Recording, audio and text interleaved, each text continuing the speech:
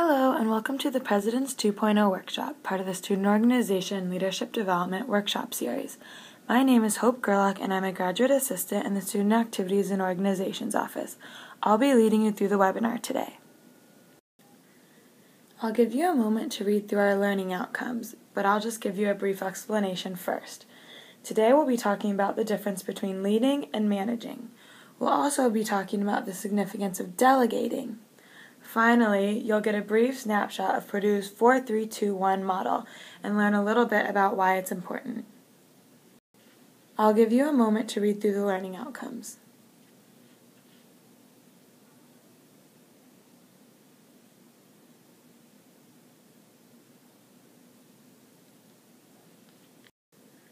We'll begin by talking about managers and leaders and the differences and similarities between them. To begin with, managers develop policies and procedures, whereas leaders develop vision and strategy. Managers direct and control members of their group, as opposed to leaders who prefer to motivate and inspire their members to take, to take action. Finally, managers get people to do what needs to be done, whereas leaders get people to want to do what needs to be done by motivating and inspiring them, as mentioned earlier. Now that we've discussed a little bit about managers and leaders, I'd like you to think through a few examples and decide if these characteristics are qualities of a manager or qualities of a leader. We'll start with explaining what we have to do. Is someone who explains what we have to do a manager or a leader? Typically, someone who explains what we have to do is a manager. Asking questions. Is someone who asks questions a manager or a leader? Typically, if someone is asking the right questions, they're a leader. By asking the right questions, you can include your members in decision making. Next, concerned with the here and now.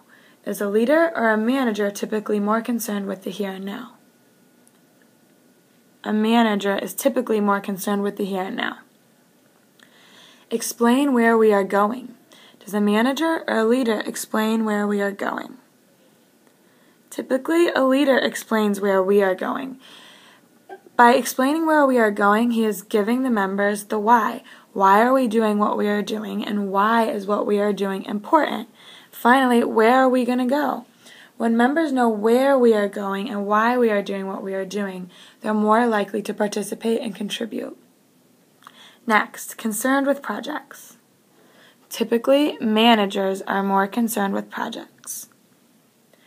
Being big picture oriented is characteristic of a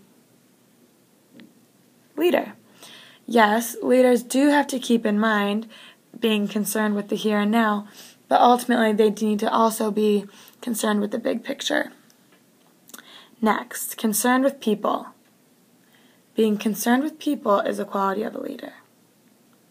Leaders understand that tasks need to be done, but at the end of the day, people are more important than tasks.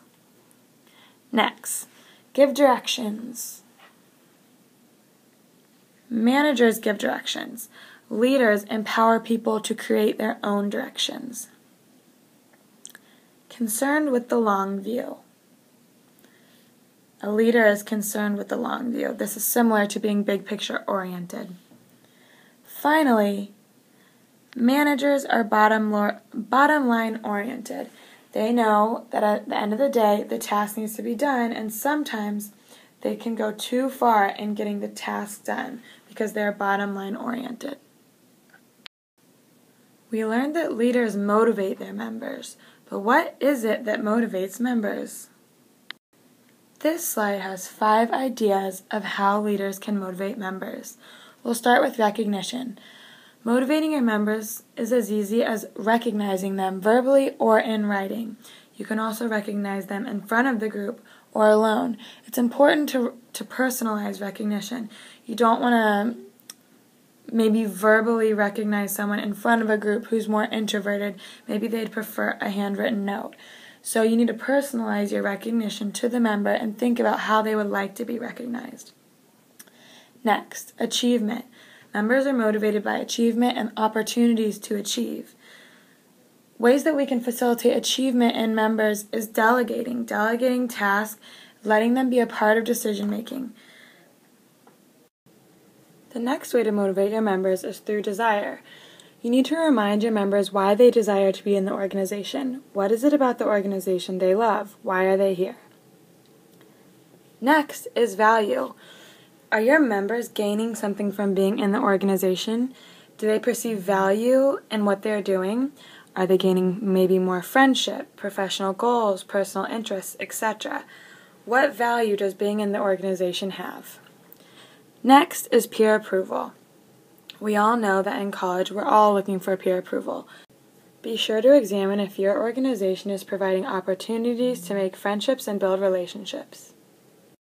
So, those were great strategies, but what can you personally do to motivate your members? Well, you can start by delegating, but we'll get to that later. Let everyone know your plans, even at the early stages. This goes along with the where and the why that is important for members to know. Play up the positive. Be sure to remind your members what they're doing well and what is going well within the organization. Did you host a successful event? Make sure they know and make sure you thank them. Finally, you can motivate your members by being consistent. Are you the same person day to day, whether you're having a good day or a bad day? Because that's important to your members. Show them you have confidence in them by again delegating tasks and letting them complete the task. When you make a mistake, admit it. We're human, we all make mistakes. And finally, include members in decision making. Members are more likely to participate in and support an idea or an event in which they have been a part of the decision making process. Now we'll move on to delegating. Delegating is not only good for the leader, but it is also good for the group. As previously mentioned, members that are more active and invested in the organization are more committed and more likely to participate in ideas and events the organization is hosting. If more people are participating, that means your organization can take on more projects and more activities. Delegating provides increased opportunities de- for members to develop leadership and networking skills.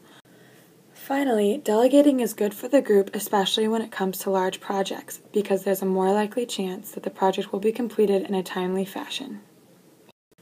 So, what's in it for you? Why is delegating good for the leader? Well, if you're delegating tasks, you won't be being spread too thin and you'll be less likely to burn out. After all, you can only be in one place at one time. Also, you'll gain satisfaction seeing members develop and grow. That's one reason why it's important to be careful what you delegate to your members. You want to delegate to them tasks that they can handle and that they can achieve because you want to see them successful. And from their success, you will gain satisfaction from seeing them grow. Finally, if you have delegated work that general members have the knowledge and skill set to do, you will personally acquire more experience in executive and administrative functions. Now we know why delegating is a positive thing, but when do we delegate and when don't we delegate? Good times to delegate include when there's a lot of work to be done. For example, if you're hosting a huge event, you could divide you could divide the work and delegate it to people who are in charge of public relations, people who are in charge of catering, people who are in charge of music. Dividing the work when there's a lot of work to be done will most likely produce a more successful event. Next, Delegate if you have a member who has particular qualifications for or interest in a task. For example, maybe enlist in a communications major to help with the public relations for your event. Other times to delegate include when someone can benefit from the responsibility, when routine matters need attention, or the details take up too much time and need to be divided. We've talked about particular times that are good to delegate, but what times do we not want to delegate? You don't want to delegate if the task is something you yourself would not want to do. You don't want to make anyone do your dirty work. If you expect others to do something you don't want to do, it's a good thing if you are willing to do it at least with them. You also don't want to delegate if someone is under or overqualified for the task. If you assign a task to someone who is underqualified, they won't experience experience success. And we want everyone in our organization to feel successful and feel like what they're doing is good and important. You also don't want to enlist someone who is overqualified for the task to where they're offended that you ask them to do something. Next, you don't want to delegate if the work is your own specified responsibility. If it is a duty that is specifically for the president of the organization, you don't want to put your work on someone else, unless it's an emergency. Finally, you don't want to delegate if the task is too big, an unsolved problem, or emotionally charged. Those times and situations are good for you as a president to handle. Up next, we will be talking about how to get the most out of your executive board. We've listed five ideas to develop a successful executive board. However, there are many, many other opportunities you can take as the leader of your organization to make the executive board the best it can be. It is important for exec board members to get to know each other. You can do this through team building activities, socials like an ice cream social, or taking the exec board out for dinner and a movie. Once your executive board feels comfortable with each other and know each other fairly well, you need to develop a shared vision. Remember, people are more apt to buy into ideas and initiatives when they have played a role in developing them. So, as the president, it's important not to be telling the exec board what to do, but asking them, What do you think we should do? What do you think our plan should be? And what is our shared vision? By allowing your exec board to contribute and developing a shared vision as a team, they will be more likely to buy into initiatives in the future. Don't forget to set ground rules. What example would you like the executive board to set for the general members? What behaviors would you like to convey to the organization as acceptable and unacceptable? Finally, successful executive boards meet regularly and put their plan into action as a team. This is Purdue's 4321 model. This is a great model to share with your executive board and general members. Purdue's 4321 model states that Boilermakers should graduate in four years, maintain a 3.0 GPA, study two hours for every hour in class, and make one leadership commitment each semester. Our last topic of discussion regards preparing successors. You begin preparing your successors the day you take the leadership role. You can begin preparing successors by accepting the fact that you're not indispensable. Even the best leaders move on or graduate, and the best organizations continue to improve and become better with each new leader. During your term, you can start by identifying the A players within your organization that show leadership potential. What experiences do these candidates need to be well rounded leaders at the next level, and how can you provide them with opportunities to gain experiences? You can provide them with these opportunities by including these A players in conversations and meetings to increase leadership exposure. Invite a great member of your organization to a roundtable meeting. Next, you can stretch these A players by giving them special projects or exposing them to leadership experiences outside of their comfort zone.